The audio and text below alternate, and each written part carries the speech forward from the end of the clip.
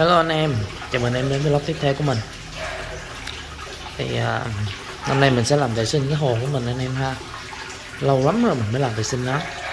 Uh, Kể từ uh, cái cái clip mà ra cách đây 3 4 tháng á Đến tận bây giờ mình mới làm vệ sinh cho nó.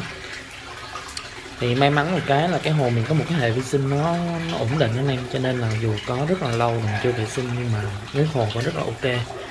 Anh em nhìn vô. Này Đấy, thấy chưa?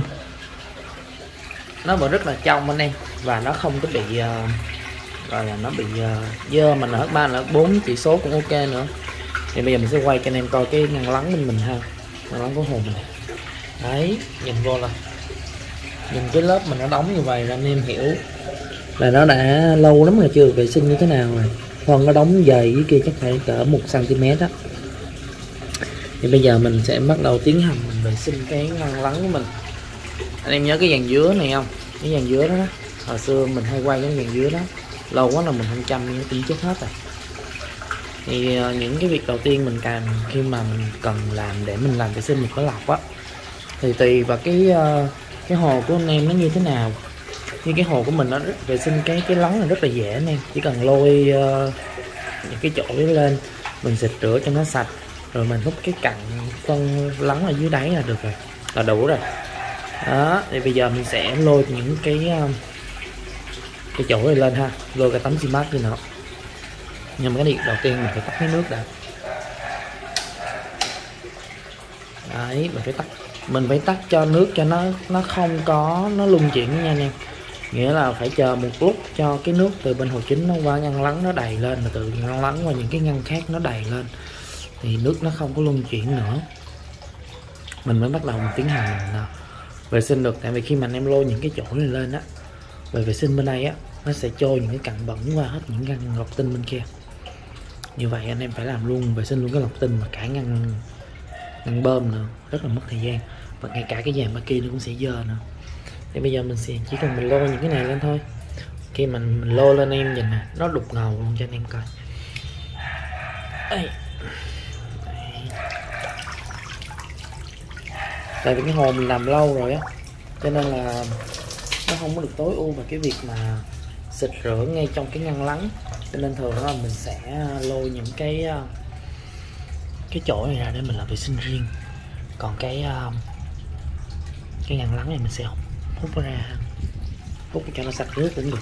Đấy, anh em ngăn được cái ờ, cái luồng bơm mà từ từ ngăn được cái luồng nước từ đây qua ngăn lọc tinh á cái nguồn nước từ ờ, lục chính qua ngăn lắng á. Thì anh em không cần phải ờ, đắn đo cái việc mà phải chờ cho nó lắng xuống. Anh em cứ rút hết sạch nước trong cái cái ngăn lọc này là được. Nhưng mà do mình mình bị mất mấy cái ống để mình ngăn nước rồi cho nên là mình bây giờ mình làm một cách nó thủ công luôn. Anh em thấy không?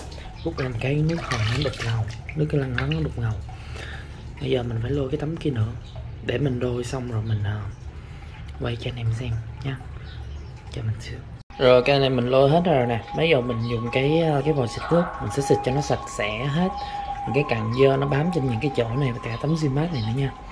Thì cái tấm zin mát này mình có làm một số clip về nó rồi đó. Mình nói là nó cũng là một cách để mình chặn phân cá trôi vào ngọc ngăn lọc tinh đó. Thì uh, tránh trường hợp mà những cái thứ mà chổi nó không có ngăn được á thì tấm zin mát này sẽ là cái chốt chặn cuối cùng.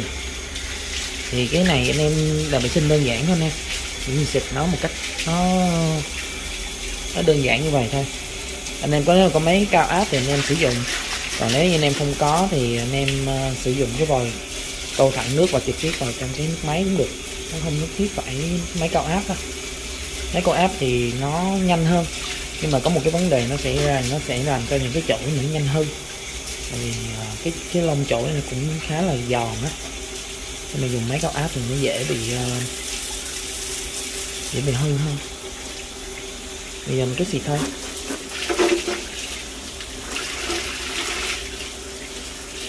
Thì ờ, mình cũng làm nhiều cái clip về hướng dẫn với anh em về cách vệ sinh lắng lọc rồi. Thì đây là cách ờ, cái clip đầu tiên của mình mình làm về cái việc vệ sinh lắng lọc này. Thì là cái lắng thôi chứ chưa vệ sinh cái lọc. Cái lọc thì anh em uh, chờ những cái clip sau mình làm vệ sinh cái lọc tinh.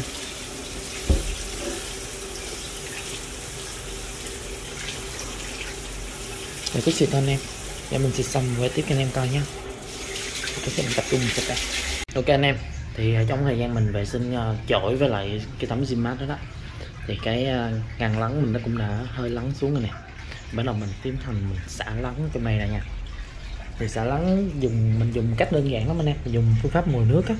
Chỉ cần một đoạn ống rồi mình nối ống rồi mình kéo nước ra thôi.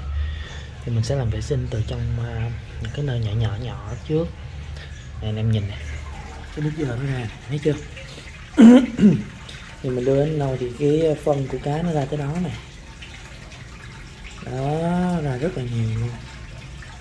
Thì chính những cái này nó tạo ra NH3, NH4 gây độc cho cá coi đó này. ờ, lý ra thì mình nên vệ sinh lắng lọc khoảng một tuần một lần. Nhưng mà do thời gian vừa rồi mình quá lười cho nên là mình không có đụng chạm đến hồ cá coi hết. Đến hôm nay mình mới làm thì nó khá là dơ. Dơ lắm. Em coi cái dòng nước đen nó chảy ra là anh em hiểu vấn đề đúng không? Rất là dơ. À, một cái điều tốt là cái hồ cá của mình nó vẫn rất là trong xanh. Nó vẫn khá là ok cho nên là đó là một cái điểm may mắn của cái hồ mình bây giờ mình tiến hành mình à, cứ xả lắng thôi. Xả lắng sao cho nó sạch là được à, sau khi xả lắng xong thì mình bắt đầu mình ráp lại ờ, chổi với lại Zimat đơn giản lắm anh em không có gì phức tạp đâu. Thì ờ, anh em cứ để cho ống nó tự chạy cũng được.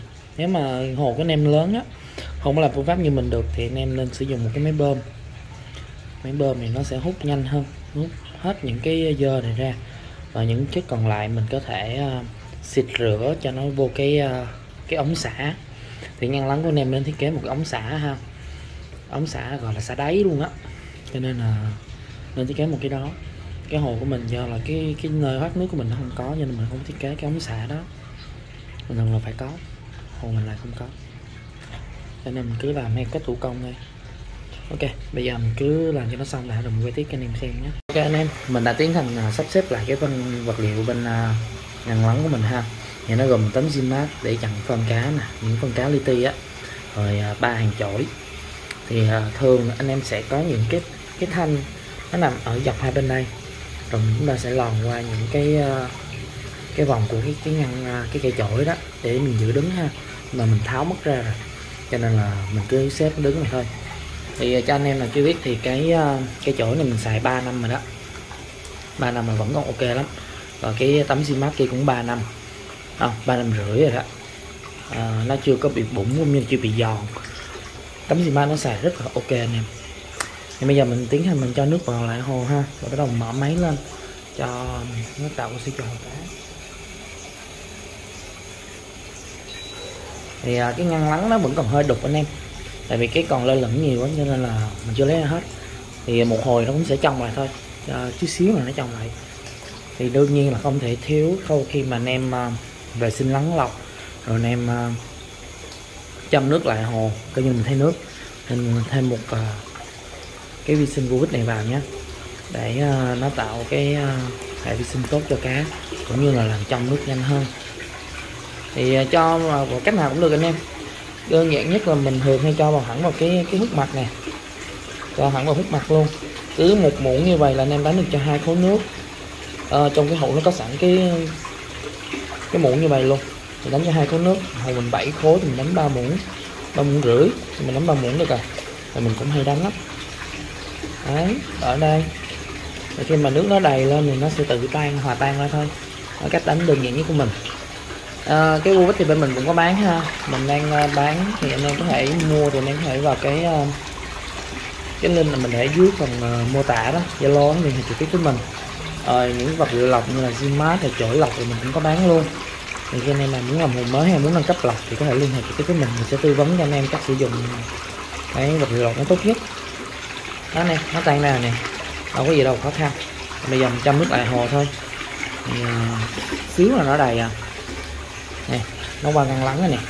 Là nó nó sẽ cho vào những cái ngăn xin mát rồi cái cái hệ thống à, lọc và kia trên kia nữa rồi, thì ờ, vệ sinh lắng ngọc của mình nó đơn giản như thôi, nó chỉ tốn khoảng ờ, 8 phút hoặc 10 phút của mình thôi. Thì những cái em hồ to thì nó sẽ tốn thời gian hơn một chút. Thì nếu mà hồ to thì anh em nên có một cái room những cái room thì nó sẽ nhàn cho anh em hơn. Còn những những hồ nhỏ mà khoảng 20 khối đổ xuống như hồn của mình á, thì anh em vệ sinh nhanh lắm, nó không tốn nhiều thời gian của anh em đâu. Thì ờ, chơi cá là mình thư giãn mà anh em đừng có nặng nề cái việc đó. Rồi, chúc anh em một ngày tốt lành. Nhớ like sub cho mình để mình có thêm động lực ra những cái clip mới nha. Thì anh em bye bye.